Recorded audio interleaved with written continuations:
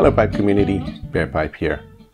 So after I posted my last video, which was episode 28, uh, part 3 of the Butz Choquin project, where I tried and failed to expand the tenon, I got quite a few comments. One of the comments was a question from Angel Smell, and he said, You'd like to know uh, how I made the tenon expansion tools that I used. Now, Angel Smell, luckily for you, these are the tools I'm talking about, I videoed myself making these because I'm a geek and I video just about everything that I do, even though most of it never makes its way into a video. So I am in a position to show you how I made these. But before I do that, let me quickly talk you through it because it's actually not that complicated. Both of these things start their lives as a bright finishing nail. You can buy these in any hardware store. Uh, one is a number 7, which is about a 4 inches or 10, 10 centimeter long nail. The other one is a number 9, which is about 3.5 inches or 8 centimeters long. The first step was to do some rough shaping on a bench grinder. After that, I mounted this in the front of an electric drill so I could spin it at a fairly high speed. And as it was spinning, I used a metal file to do the detailed shaping and then finally used some automotive sandpaper to do the final shaping and sanding of the shape. Now, as I was doing this, and I'm not going to show you this in the video because it's going to take way too long, I kept on checking the dimensions with a caliper to make sure that it was moving towards a calibrated size. Now, what's the calibrated size? Uh, two different tools, two different sizes. The smaller one uh, goes from two and a half millimeters to three and a half millimeters. The bigger one goes from three to four millimeters. So there's a bit of an overlap between these two. Both of them, the tapered section is four centimeters or about, call it one and three quarters of an inch long. And beyond the tapered section, I actually ground down the nail so that it's a little narrower than the tapered portion because, of course, I don't want to overstretch my tenons. Hmm, like that would never happen. But then I also painted it just to make sure that uh, I could quickly identify visually which is the bigger and smaller one. Uh, and that's just a personal thing. And then I wrapped it with some shoestring on the back and glued it in with some super glue to make a handy little handle for it. So let me show you what the process looks like in real life.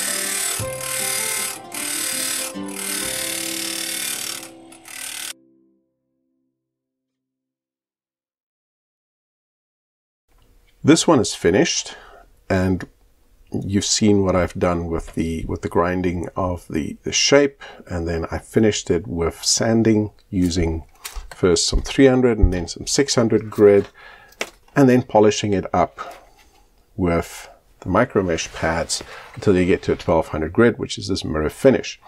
The area that goes past the tapered portion of this I ground down as I've shown you in the video here to paint and color code.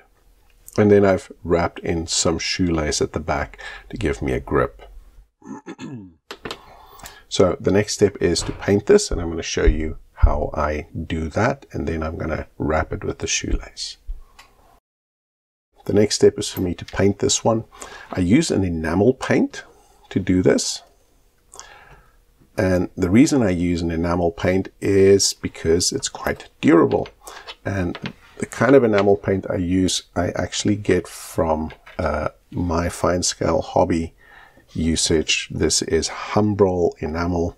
I'm going to use this one to make it in a red. Smaller one I made black. This way I can tell which is which uh, later on so that I don't get confused. So I'm going to very carefully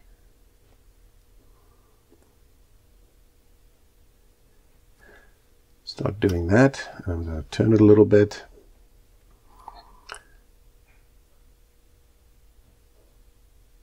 And this will just give the, it, firstly it gives it nail a nice finished look because you have this nice color on it. The more important thing is later on these things look pretty similar once they're done. I can tell the different sizes by the different colors. So there is actually quite a good useful purpose to putting the coat of paint on this. And I'm just going to make sure that I haven't got too much paint on this and just kind of dab it at the bottom. I'm not too concerned about having the perfect red coat on this because it's not a it's not an art project. There we go.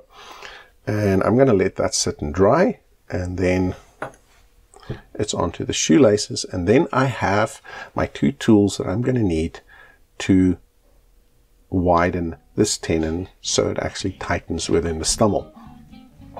And it's going to go in there and it's going to spread out this, uh, this tenon and allow it to tighten up.